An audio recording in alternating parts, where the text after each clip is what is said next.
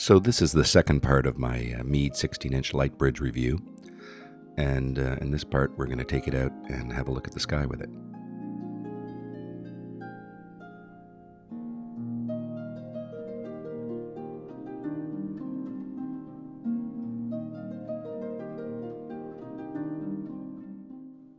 So the astronomy gods smiled on us and gave us a pretty, pretty clear sky.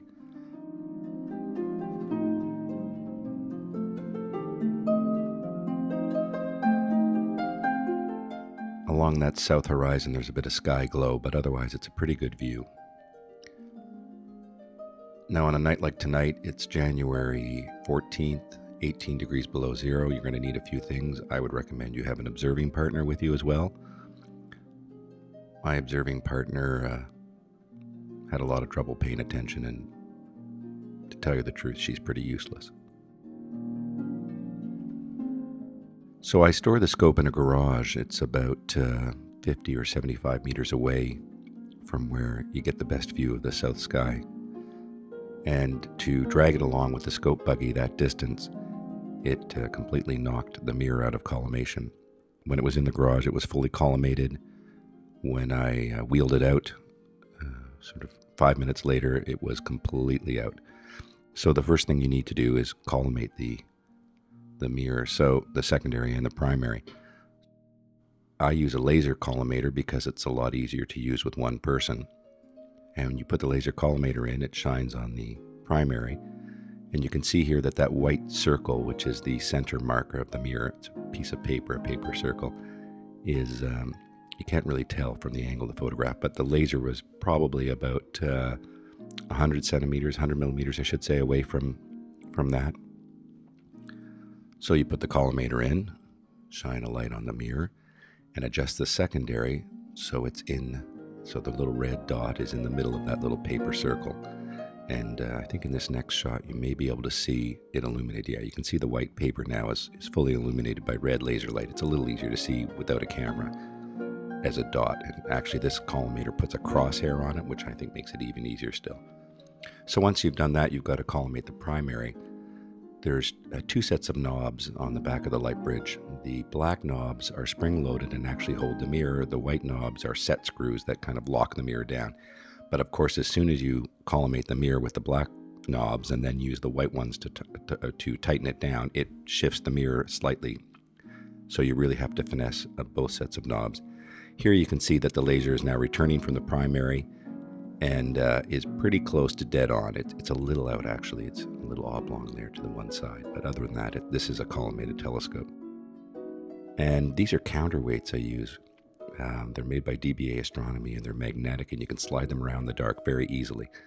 You don't want to use a lot of altitude uh, tension on this scope, otherwise, it makes the scope jerky. And as soon as you put a decently heavy eyepiece, it will drop like a stone.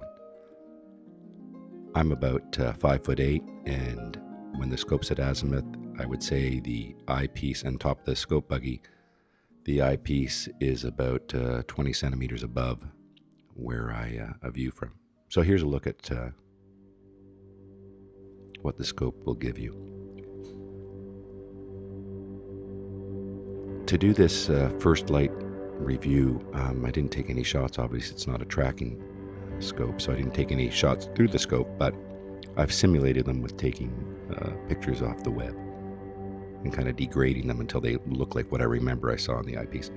You can see that red light, that's the 12 volt supply for my eyepiece heater. It's 18 degrees below zero, and when your breath gets on an eyepiece, it completely frosts over in like a second.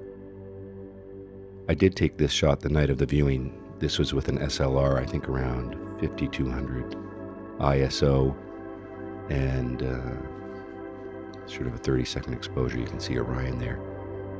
This is the shot I got off the web of the Orion Nebula, M42. You actually see much sharper detail in the scope than you see here. And you see a little hint of color, like a tiny hint of color, of light green and a little bit of pink. Uh, this is more detail than you would see in the scope. This is M31, the Andromeda Galaxy, but you definitely do see those two dust lanes. You don't see all that uh, granulation in the dust lanes, but you will definitely see those.